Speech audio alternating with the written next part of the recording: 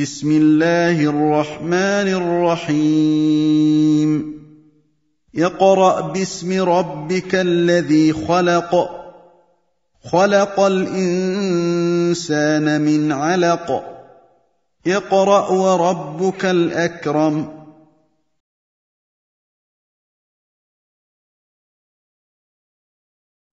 alaikum wa rahmatullahi wa barakatuh.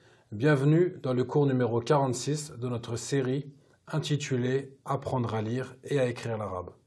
Dans ce cours, nous allons étudier, bi'iznillah, la lettre Ya. Alhamdulillah, wa salatu wa salamu ala rasulillah, amma ba'd. La lettre Ya s'écrit comme cela.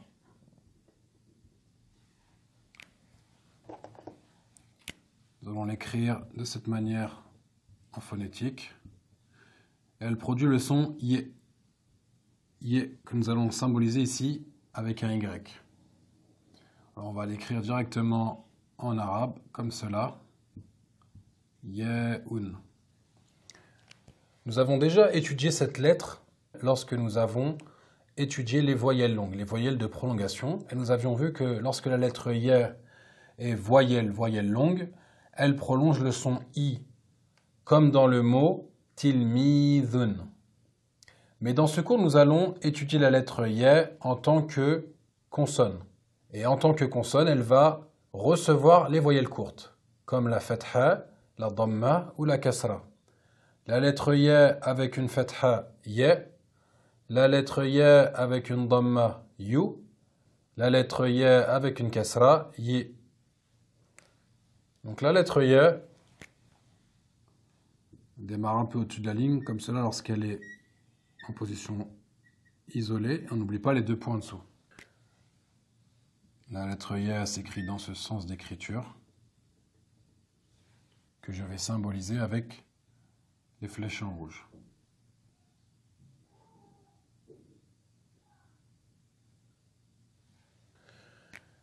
Et enfin, la lettre Y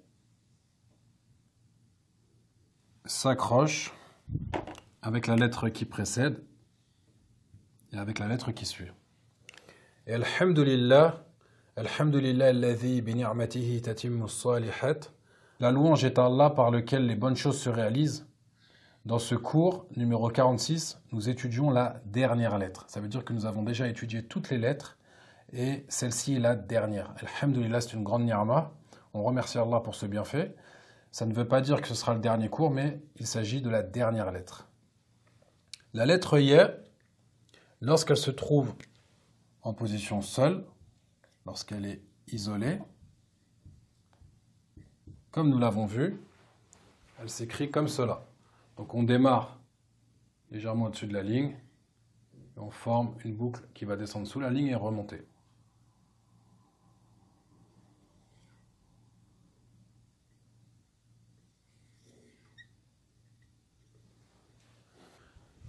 La lettre Y, lorsqu'elle se trouve au début d'un mot, nous allons l'écrire de cette manière. Donc vous voyez, ça fait un peu comme le socle de la lettre B, T ou Th, sauf qu'on va mettre les deux points en dessous de la lettre.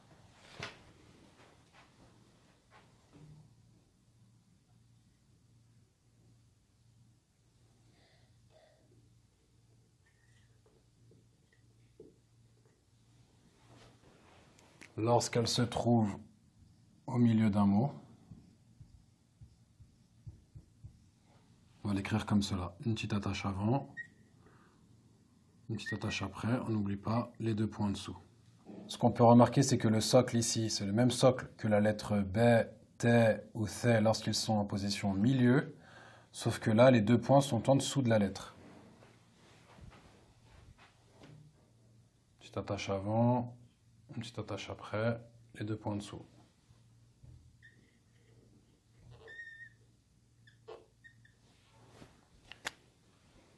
Et la lettre Y, lorsqu'elle se trouve à la fin d'un mot, on va l'écrire comme cela. Donc, une petite attache avant pour s'accrocher avec la lettre qui précède, et elle va descendre sous la, ligne comme cela.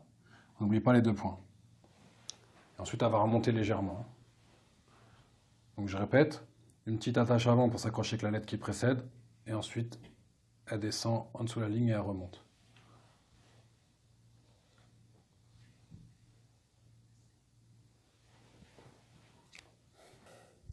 Nous allons terminer le cours sur un petit exercice. Comme à notre habitude, nous allons devoir relier les lettres suivantes. Donc je vais vous donner deux mots, Inch'Allah. Le premier mot,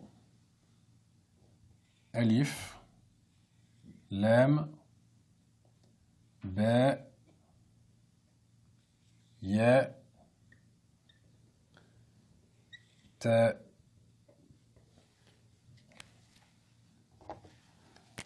Sur le alif, je mets une fetha pour que vous puissiez prononcer e, mais à la base, on n'a pas besoin d'écrire la fetha puisque lorsqu'il y a alif lem, automatiquement, on va prononcer comme s'il y avait une fetha. Sur le lem, un sukun, donc là c'est l'article. Hein. Sur la lettre B, une fetha. Sur la lettre Y, un sukun. Et là, sur la lettre T, ça sera une dammaten ou une damma. Vu qu'il y a alif lam, ça sera une Dhamma. Et le deuxième mot, je mets un petit trait pour séparer. La lettre Ye, la lettre Waw et la lettre Mim. Sur la lettre Ye, une fatha. Sur le Waw, un sukun. Et sur le Mim, une. Je vous laisse recopier les lettres sur votre cahier. Essayez d'accrocher les lettres ensemble de chaque mot. Et lorsque vous avez terminé, vous pouvez remettre play, Inch'Allah. Maintenant que vous avez écrit les mots sur votre cahier, nous allons passer à la correction ensemble, Inch'Allah.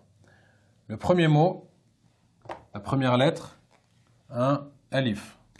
Donc le alif, il est au début du mot. J'utilise la couleur verte. Et de toute façon, il ne s'accroche pas avec la lettre qui suit. Vu que le alif ne s'accroche pas avec la lettre qui suit. La deuxième lettre, la lettre lem, je vais utiliser la même couleur, la couleur verte, puisqu'on va considérer qu'elle est au début aussi, puisque le alif ne s'accroche pas avec la lettre qui suit. Et donc la lettre lem sera au début, comme si elle était au début du mot. Dans le sens de la forme de l'écriture, je parle. Donc le lem, on l'écrit comme ça au début du mot. La lettre B qui se trouve au milieu du mot, on utilise la couleur noire. Le socle s'écrit comme cela. Sauf que là, on met un point en dessous. Ensuite, la lettre Y qui est également au milieu du mot. Donc, pareil, hein, une petite attache avant, une petite attache après. Sauf que là, regardez, le socle, hein, comme je disais, c'est pareil. Le socle, si je cache le point, c'est le même socle. Sauf que la lettre B, c'est un point en dessous. La lettre Y, c'est deux points en dessous. Et la dernière lettre, la lettre T, qui se trouve à la fin du mot. Donc la lettre T à la fin du mot s'écrit comme cela. Une petite attache avant. On forme la lettre T avec les deux points dessus. On va rajouter les voyelles. La fatha sur le alif E, le sukun sur le lem, la fatha sur le B, le sukun sur le ya et la dhamma sur le t, puisqu'il y a alif lam, on va mettre une dhamma. Car le mot est ma'rifa, il est défini. Et on va lire el baytu. El baytu, la maison. Et euh, vous remarquez que le ya avec le sukun, remarquez bien comment on le prononce. El baytu. El baytu. El baytu. C'est un peu en phonétique. C'est un peu comme si on comme si on prononçait comme ça. Ey, el tout. Ça, c'est juste un titre d'indication. Et enfin, le deuxième mot. La première lettre, la lettre Y, qui se trouve au début du mot. Donc la lettre Y au début du mot, on l'écrit comme cela. N'oublie pas les deux points en dessous. La deuxième lettre, la lettre Waw, qui se trouve au milieu du mot. Donc on utilise la couleur noire. La lettre Waw au milieu du mot. Rappelez-vous, c'est une attache avant qui s'accroche à la lettre qui précède et on forme la lettre Waw. Et enfin la lettre Mim qui se trouve à la fin du mot. Donc on peut l'écrire en orange. Sinon, on peut aussi l'écrire en, bleu vu qu'elle est euh, isolée, puisque la lettre waouh ne va pas s'accrocher avec la lettre qui va suivre. Donc je vous laisse le choix. Hein. L'essentiel, c'est de l'écrire correctement. Donc la lettre mim, lorsqu'elle est isolée, on l'écrit comme ça, Inch'Allah. On rajoute les voyelles. La lettre ya avec une fetha ya. La lettre waw avec un soukoun ao. Et la lettre mim avec une dhammaten mun. Nous avons le mot yaoumun. Yaoumun qui veut dire un jour. Et avant de se quitter, Inch'Allah, juste pour rappel, la différence entre les quatre lettres, la lettre B, T, Th et Ye lorsqu'elle se trouve au début et au milieu du mot. La lettre B, c'est un socle avec un point en dessous. La lettre T, c'est un socle avec deux points au-dessus. La lettre Th, c'est un socle avec trois points au-dessus. Et la lettre Y, c'est un socle avec deux points en dessous.